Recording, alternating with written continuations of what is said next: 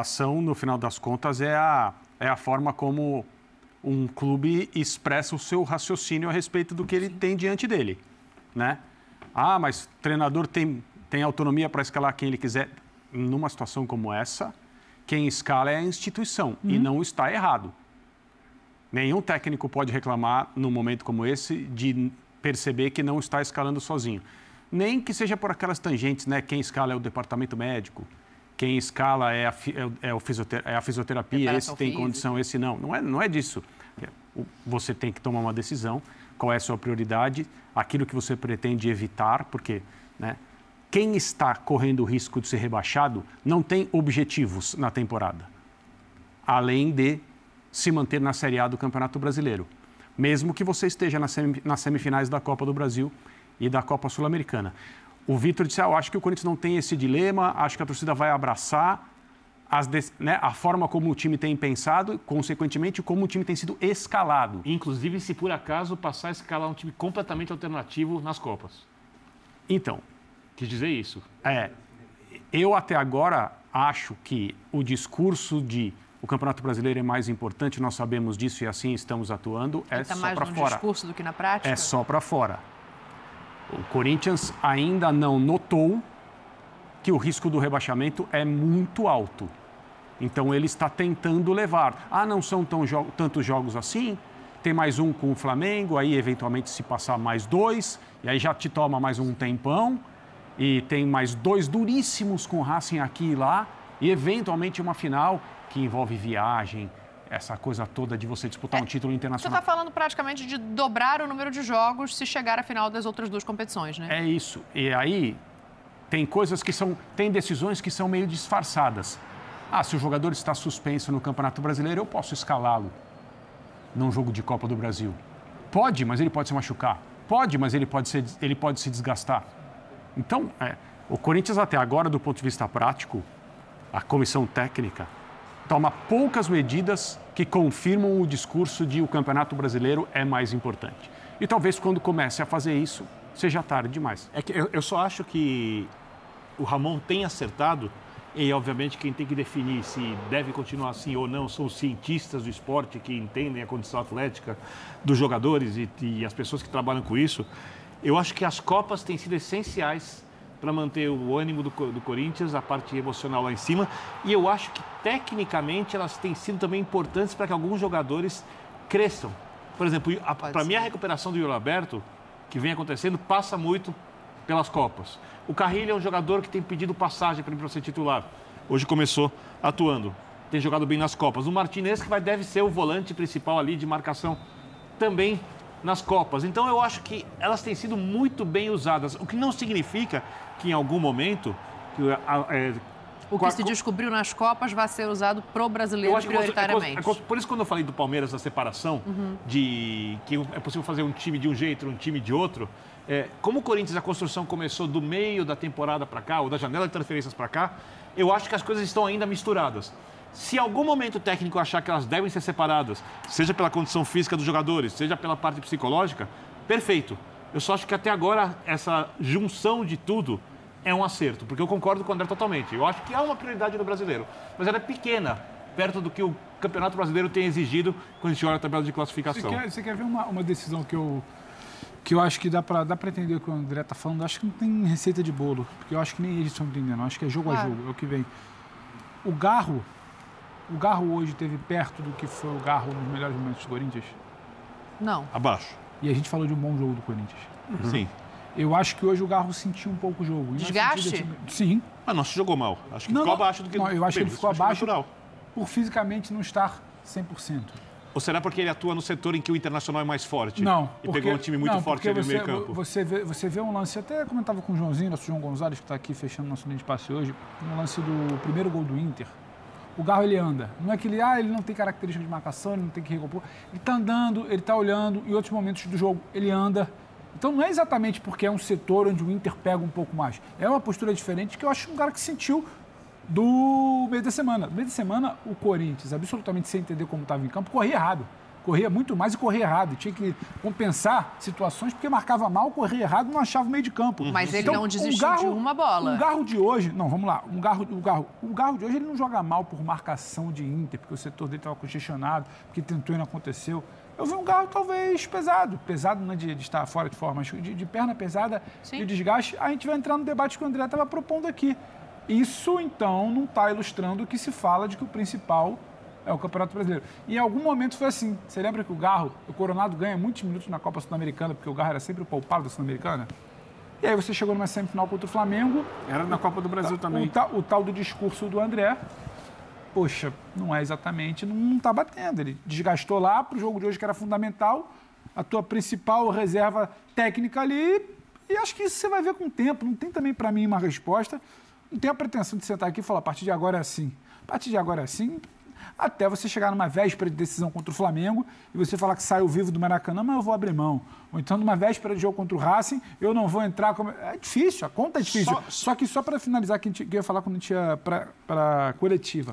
Só que não é algo difícil de se fechar uma conta, porque o mundo é cruel. É algo difícil de se o mundo está contra o time, o planejamento, o calendário. Tem muito isso. Mas é também um Corinthians que trabalhou muito errado o ano inteiro para se colocar nessa situação. E hoje está tendo que tentar salvar, porque não dá para você trabalhar errado o tempo inteiro e achar que vai se abrir um, um campo florido que você pode escolher. Campo, né? Joga bem tudo. Só pra, só pra, Fala que eu quero ouvir o para a gente falar de Flamengo. Entender, só para entender o pensamento dos meus colegas, e aí já vou deixar até, vocês adoram deixar a bola pingando, falar isso. Quem aqui colocaria um time completamente alternativo nas Copas, incluindo no jogo contra o Flamengo? Não, eu Falamos exatamente o oposto disso completamente? Ou eu não faria 7, isso. 8 Mas mudanças. isso tem um peso. É uma, e aí, até para o Eugênio responder, é, acho que tem um não, outro elemento que entra, que é Memphis Depay não está nas Copas, né? Não está na Copa do Brasil, pode e, jogar a Sul-Americana. Hoje ganha minutagem. Que ainda, hoje ganha minutagem, entra. E aí, para te ouvir sobre escalação e sobre todo, todo esse questionamento, né? De priorizar uma ou outra competição, Eugênio. É, que, como é que você acha que o Memphis Depay entra nesse processo? Ele entra como um jogador que foi trazido, foi badalado, foi anunciado com festa, trouxe o orgulho da torcida como uma esperança de reforço para ajudar o time a sair do buraco. Só que ele, do buraco no Campeonato Brasileiro, né? Que é a zona de rebaixamento. Só que ele chega sem estar no seu melhor momento físico. E ele está tentando se recondicionar. Hoje ajudou. Hoje ajudou. É, o primeiro gol passa decisivamente por ele. É, mas não teve um rendimento ao longo de todo o tempo que esteve em campo, quase o jogo inteiro, não teve um rendimento uniforme, foi caindo. Outro dia contra o São Paulo reclamaram muito porque ele perdeu a bola que originou o último gol do São Paulo, semana passada. Teve uma semana para trabalhar. O fato de não estar inscrito na Copa do Brasil, é, o fato agora de ter uma data FIFA, é, isso gera tempo para ele se recondicionar fisicamente. Sim. E ele pode ajudar, ele pode colaborar. O primeiro gol hoje sai de um passo muito bom dele, tem qualidade técnica. O gol de cabeça do Yuri Alberto, um cruzamento dele que é um negócio... que acabou anulado, é, né? O gol é anulado, né? Sim. É incomum vermos no futebol um cruzamento, como, um cruzamento como esse. Ele, ele, claramente não está em condições físicas... É, é impossível aqui dizer o percentual, mas parece que ele não está com 60% Sim. Do que seria a forma para jogar. Mas tecnicamente ele é muito privilegiado, muito talentoso. Ele vê as coisas, né? E, e com Sim. a bola no pé ali, ele, ele consegue fazer. O passe para o Yuri no primeiro gol, logo no começo, a bola que o Corinthians recupera, é um bom passe e tal. O Corinthians, outros jogadores do elenco do Corinthians fariam esse passe. Era, até assim, entre as opções que ele tinha, era bastante óbvio, a óbvia a bola para o Yuri. Mas o cruzamento para o gol e impedimento é uma loucura. É, a minha pergunta é muito no sentido de que assim, o Carrijo também foi um jogador que chegou é, nessa janela com muito menos pompa, com muito menos uhum. badalação. Uhum. E ele já mostrou em campo que pode contribuir de várias maneiras. Até por né, povoar vários espaços do é, campo ali exato. em jogos diferentes. O Memphis, por mais que a gente não duvide dessa qualidade técnica, me parece que é, sei lá, um trunfo para as últimas cinco rodadas, quando ele estiver em condição, porque essa condição não está acompanhando a urgência que a gente está colocando que o Corinthians é, tem é, claro. de trazer o resultado. É Para mim, assim, esse é o questionamento. Mas é o planejamento acho... que você fez no ano. É. Ou que você não fez. planejamento? Né? É, ou não planejamento, como queiram chamar. Eu até acho que não tem que discutir se alguém vier e disser, olha, a contratação do Memphis Depay é para 2025. Eu entendo. Um jogador contratado em agosto, setembro, Sim. é para 2025. Qual será o 2025 do Corinthians? Ninguém, pode ir sa- embora ninguém sabe. rebaixado. E se for o pior. Tem a cláusula, né, de o, o pior multa- dos cenários, que é de Série B, ele não estará. Ele não estará. Ou porque ele não vai querer, ou porque o Corinthians não poderá pagá-lo, ou ambos. Então, se o Corinthians for rebaixado, o Memphis não estará aqui. Ele vai ter esse tempo para jogar. Então, contando com o jogo de hoje, tem mais nove do Campeonato Brasileiro e tem dois, certamente, de Copa Sul-Americana, possivelmente três. Então, contando com o de hoje, 10, 13. 13 jogos. Ah, mas ele precisa ser condicionado para jogar as últimas cinco? Ninguém sabe nas últimas cinco em que condição o Corinthians estará em termos de tabela. Talvez esteja até se sentindo bem. Hoje ele estava melhor Porque- do que semana passada contra o São Paulo. Estava. Na Então, volta da data FIFA, talvez aí- esteja ainda melhor. A imagem é engraçado, né? Ele entra no jogo com Fortaleza com a partida decidida e domina uma bola difícil para dar assistência para o quarto né? gol e tal. É. Quando a bola chega para ele bem posicionado, ele não parece um jogador tão distante da sua melhor forma, né? Mas quando ele precisa se movimentar, você percebe. Eu acho e, no, não. e no jogo com São Paulo, a imagem não foi boa. Foi a primeira vez que ele, que ele apareceu assim e você falou, hum, não dá, né? Porque ele não teve também condição de, com a bola no pé, fazer alguma coisa. Eu acho que na volta da paralisação para os jogos de seleções, ele não precisa ser, obviamente, o Memphis que a gente espera, mas ele precisa ser um jogador mais eficaz e participativo. E eu concordo com tudo sobre a parte técnica dele.